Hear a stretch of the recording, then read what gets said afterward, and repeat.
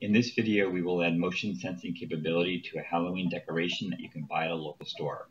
By latching onto the Try Me demo button on these decorations, we can trigger the animation and sound effects for the decoration whenever motion is sensed. We'll do this by adding a passive infrared sensor to the top of the decoration using a custom 3D printed mount and a custom circuit to monitor for motion from the detector and then trigger the decoration's effects. Here is the schematic for our custom circuit. It starts off with four AA batteries in series that are connected to a 5 volt voltage regulator to ensure that the rest of the circuit doesn't get any more than 5 volts. The initial star of the circuit is going to be the passive infrared sensor that's mounted on the top of the decoration. When it senses motion, it's going to send a high on its output pin, pin 2. The rest of our circuit is going to look for a falling edge low signal in order to trigger the animation and sound effects. So we're going to send that high into a transistor setup that's going to invert the logic, send that high to a low that low, once, once it's triggered, is going to be passed on down to our 555 timer, which is set up with 20,000 ohms of resistance and a 470 microfarad capacitor, which is going to run the whole window of time that the decoration needs in order to have the animation and sound effects complete.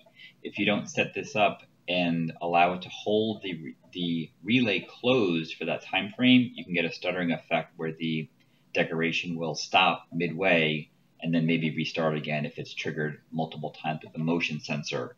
So it's important to make sure you have that covered.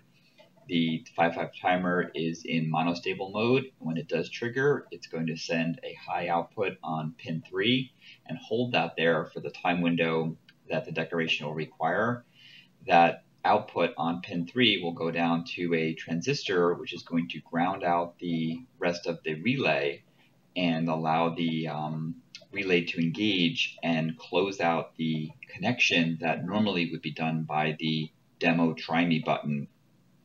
The relay is going to hold that connection closed for the entire time window that the 555 timer is driving it, and that will allow the animation and sound effects to run through until they're done, and then it will open up again and allow the decoration to trigger again if it does sense more motion. Here's the prototype board with the relay and the 555 timer configured and the voltage regulator.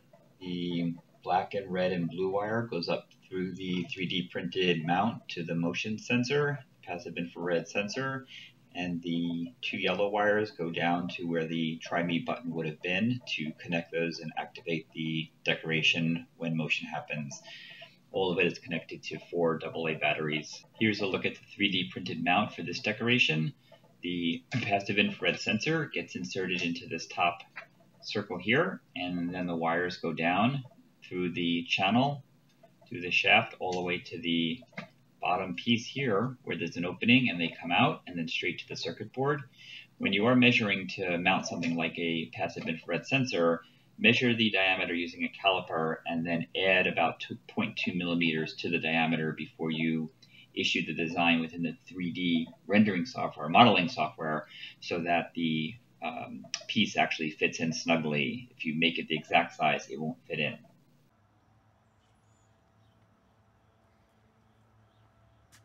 Here are a few examples of the motion-activated decoration being staged.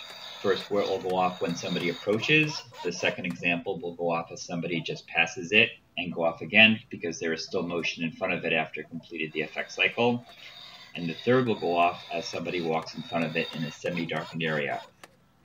Please leave any questions or comments down below. If you found this video helpful or entertaining, please consider liking and subscribing. Thanks for watching.